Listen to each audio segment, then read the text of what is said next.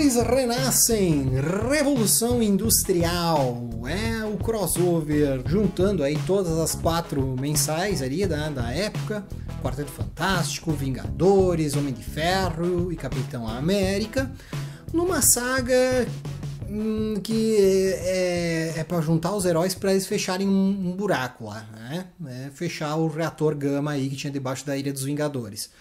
É um crossover que meio estranho, né? Era só chamar um guindaste aí, mas enfim, esse foi o crossover aí, o primeiro que uniu todos os títulos desta grande saga Heróis Renascem, que daí a gente vai ver Revolução Industrial agora. Aqui temos então o primeiro crossover de Heróis Renascem chamado Revolução Industrial. Ah, essa fase de Heróis Renascem, então a gente vai trazer os três crossovers para vocês conhecerem o que, que teve de mais concentrado, assim, é uma massa de tomate mais forte dessa coisa aqui chamada Heróis Renascem. Revolução Industrial é um arco que vai tratar do confronto com o Hulk. Tá? Lá nos Vingadores e acho que também lá no Homem de Ferro mostrou o surgimento do Hulk, né? que na verdade era o Bruce Banner, né? virou Hulk, assim como no universo convencional, né? Só que aqui é o Bruce Banner de verdade, né? É o nosso Bruce Banner do, do 616, que foi ali para esse universo junto aí com, com os heróis e acabou se tornando o Hulk também. Ele tem, uh, tem uma coisa ali, tem um reator gama debaixo da base dos Vingadores. E é tanto que é ali que dá o primeiro confronto com os Vingadores e o Hulk. E ali, né, então, nessa, nesse reator gama, ele está em colapso, ele vai explodir e então os heróis precisam se unir para fechar isso. Né?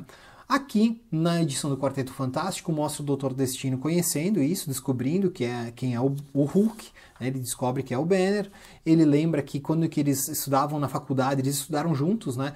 Não somente o, o Victor Von Doom, mas o Banner, o Reed Richards, o Anthony Stark e esse Rebel Rayleigh, que também é um personagem importante aqui.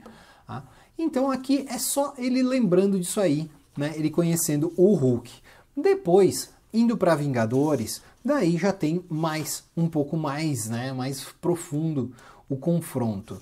O Banner procura a ajuda do Reed Richards daí para avisar, né, que ele tinha que ele que vai explodir lá o reator, porque aqui ele já tinha atacado os Vingadores, então os Vingadores já tinham perdido, já tinham perdido ali parte da, da base deles tinha sido destruída, alguns Vingadores tinham ficado gravemente feridos, né? E então uh, percebe-se que aquele reator gama explodir por causa dessa batalha.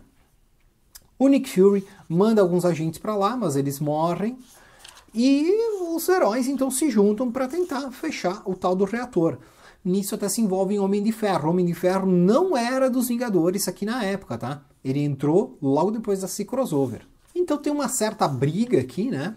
O, o coisa saiu voando aí, né? Com a porrada. E é os heróis então tentando se unir para fechar o reator. E nisso então o Banner se torna o Hulk. Daí, agora eles estão ali com o Hulk e estão numa situação difícil, né? Porque o Hulk é bem louco.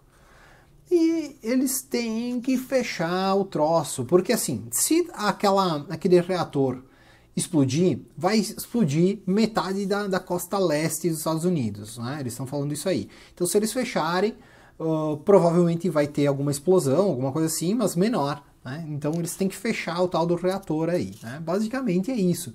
É um grande crossover para fazer eles fecharem um reator. Daí o Hulk tá lá fechando o reator, etc. Ali, tá ali com a porta ali, ele tem que fechar, e é um reator gigante, né? Uma porta gigante, blá blá blá. Todo um drama. E daí, quando que ele tá lá fechando, eles têm o um vislumbre do massacre. Só que eles não se lembram quem é o massacre, né? Ele só aparece aí e daí depois vai mostrar, né, no futuro do universo Marvel, vai mostrar mais do massacre aí, que ele estava vivo. Então, ali também retirado no, no universo do Heróis Renascem. Então, quando que fecha ali a, a, a, operação, ali que está na Ilha dos Vingadores, o Tocha Humana dá uma explosão ali para acabar com a radiação no lugar, etc. Daí a ilha fica toda destruída e eles não sabem o que fazer agora com os Vingadores, né? Porque não tem mais a ilha. Eles trabalhavam para a Shield, vale ressaltar isso aí. Porém, daí aqui na edição do Capitão América vai ter, cara, é trick assim. é uma. ah, Isso aqui, ó. É três, quatro páginas, duas páginas que fecha a história. Aí tá lá o Nick Fury, etc. E daí chega lá os Vingadores e eles dizem assim: olha, deu merda ali com aquele negócio lá que tinha um reator gama lá debaixo. E agora, de agora em diante, nós vamos trabalhar pro Tony Stark aí, né? Que não sabiam que era o Homem de Ferro, né? Mas enfim, o Tony Stark vai financiar a equipe dos Vingadores. De agora em diante, não vamos mais trabalhar pra Shield. Ah, e é isso aí. Fecha a saga Revolução Industrial. É uma saga que trouxe os heróis se unindo para fechar um reator de energia atômica. Pois é, pessoal, assim, é, é uma, um crossover meio merda, né? Eu acho que assim, ok, beleza, é uma, um, ia, ia causar uma grande destruição, etc e tal, mas era só pra, era, né, podia ter dito assim, ah, vai lá, os heróis se juntam ali, o, sei lá, o, o Thor e coisa, fecha ali, puxa essa porta aí pra cima e tal. Hum, Claro, aqui eles vão explicar que é um pouquinho mais além e tal, né?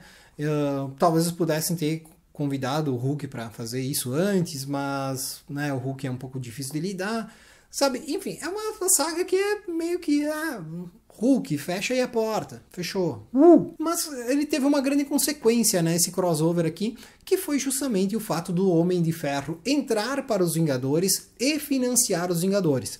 Até aquele momento, os Vingadores eles eram da Shield. A Shield que mandava nos Vingadores, eles tinham essa ilha aí deles e era financiado ali pelo governo. Porém, como que deu essa merda toda aí, né? A ilha praticamente destruiu inteira e eles não tinham mais base, etc. Então eles decidiram trabalhar a parte do governo com o auxílio das empresas Stark e tudo mais.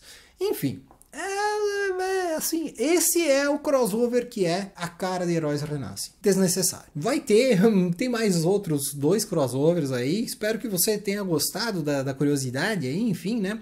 Como que eu vou revisitar essa fase aqui da Marvel? Vai ter também os outros dois crossovers aí, o crossover final, que é o pessoal lutando contra o Galactus, e por último, como que eles retornaram ao universo 616. Então, se inscreve no canal caso não seja inscrito para dar essa força e continuar acompanhando essas coisas bizarras da Marvel dos anos 90, que aqui no Brasil a gente não sabia se gostava, se não gostava, mas na verdade ninguém gostava. E hoje a gente relembra com carinho de coisas que a gente não gostava. Veja só como é a nostalgia.